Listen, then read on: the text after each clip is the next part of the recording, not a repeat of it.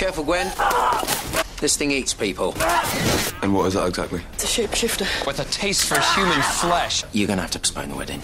You're pregnant! Oh, An alien egg in your belly, and its mother coming to rip you open. That is all we need. in five hours, I'm walking down the aisle away. You were not thinking straight. All I want to do today is marry you. That's the problem with shapeshifters. I'm not an alien. You never know what you're looking at.